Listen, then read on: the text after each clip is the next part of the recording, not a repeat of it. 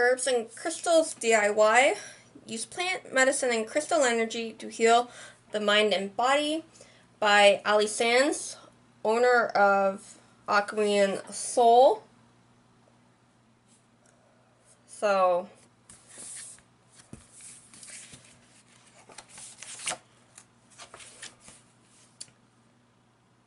this is through Page Street Publishing, and it's a recent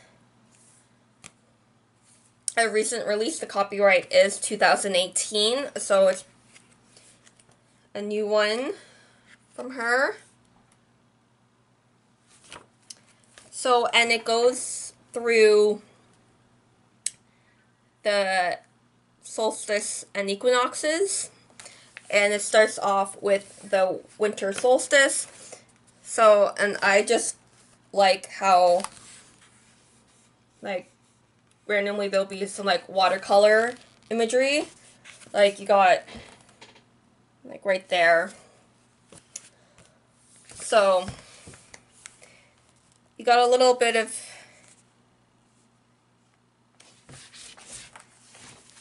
you, like you can see here brief information so well not really a huge amount of information and then like the first paragraph is a brief in introduction to it and then what would be what you could make in the coming portion. So you got this, which is the Pinon Pine Cone Incense. And you got photos of different steps. So, like, and you got, like, caption. So, the caption for, like, this one is the perfect, perfect consistency. Then, so you got ingredients, supplies, like how to make it, and then sometimes you'll have like the note.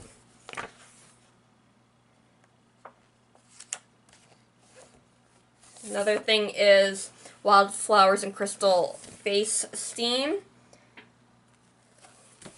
So it's many of it's a combination of using crystals and different things or making something so in this one linen foraging apron. So you have that.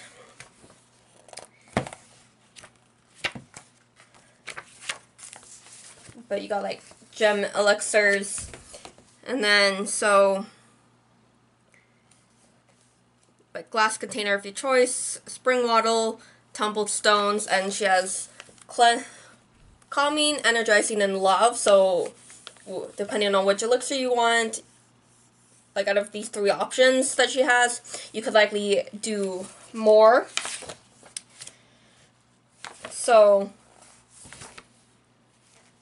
there's a few others as well. Then you gotta go into the spring equinox. And so it's pretty much the same setup uh, for everyone. You got some sort of image the what like kind of introduction of like of it or like what is surrounding you in all this. So and some and you'll get some sort of images images of what what it will look like as you progress. So the like the staging of the images are really nice, like really professional. So, like even the step-by-step images are like really like professionally and really well staged.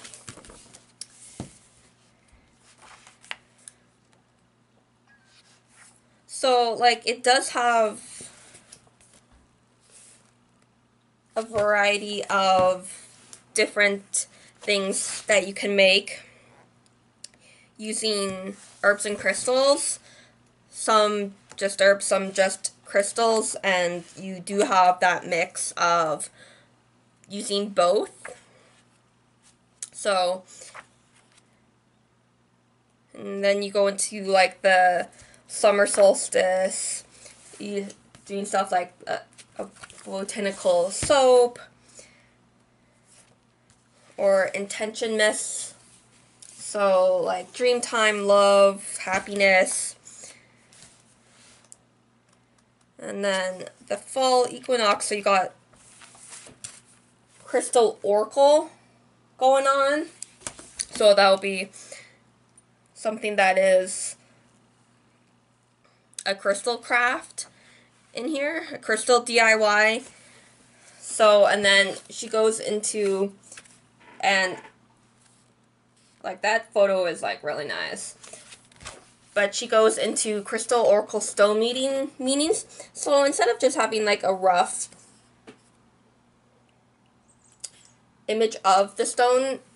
Like she'll, it's images of what the stone will look like in its tumbled form, so you know what it looks like instead of it being in its raw form. This like the tiger's eye, like that's what it tiger eye like tumbled. What it tiger eye looks tumbled. So you have that like a full moon ritual kit as well. And then so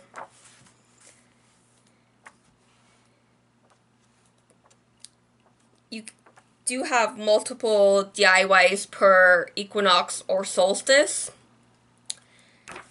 And at the end, so instead of these them being at at the beginning, because like at the beginning, it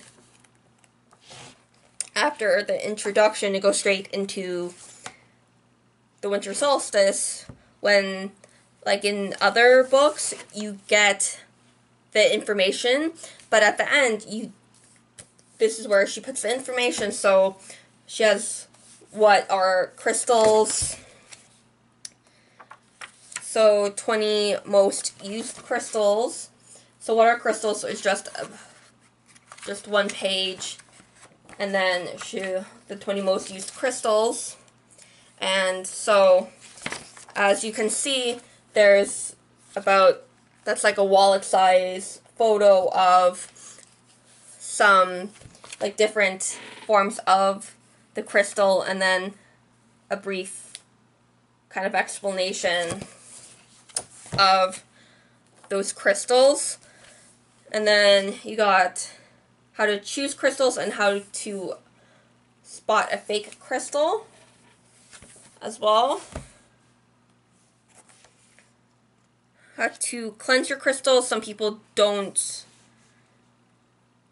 Like, I think there are people out there that don't like the act of cleansing the crystals. That they just they just don't like it. Uh, then she goes into foraging. So foraging rules and what I what she keeps in her foraging bag and like that is awesome as well. How to dry and store herbs, gathering, drying, storing, making herbal powders, flowers for drying, and natural plant dyes and resources. So it's not an extensive list of resources, but it's a start. And yeah, all of the addresses, not the websites, but physical addresses are American, but each one has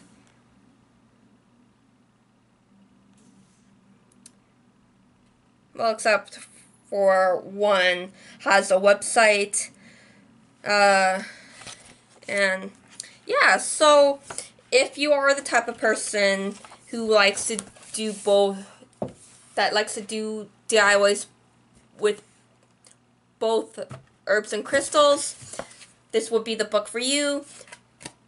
But if you don't, but I'm pretty sure there are there will be some people that don't like that combination of putting herbs and crystals into one DIY book because I'm pretty sure you could just do two separate books on herb DIYs and then another book on crystal DIYs, but she's kind of balanced the book balanced both of them with the DIYs and yeah she really knows how to set up photos so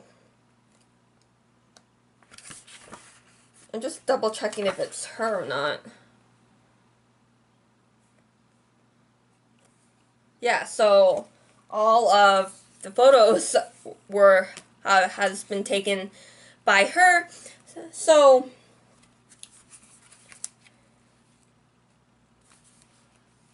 like it's the directions aren't like formal. Step one here's what you do. Step two here's how you do.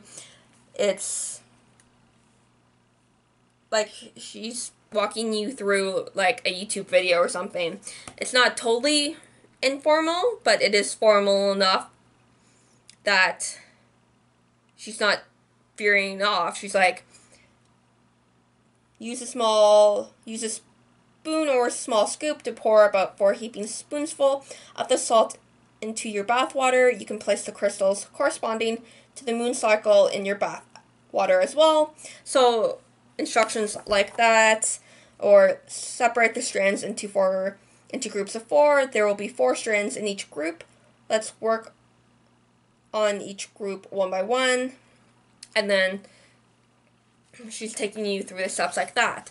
So it is so if you like doing DIYs with both, this is a good thing to look at and she categorizes them again into the winter winter solstice, spring equinox, summer solstice, and fall equinox. So there's that. So once again, Herbs and Crystals DIY by Ally Sands. Happy readings.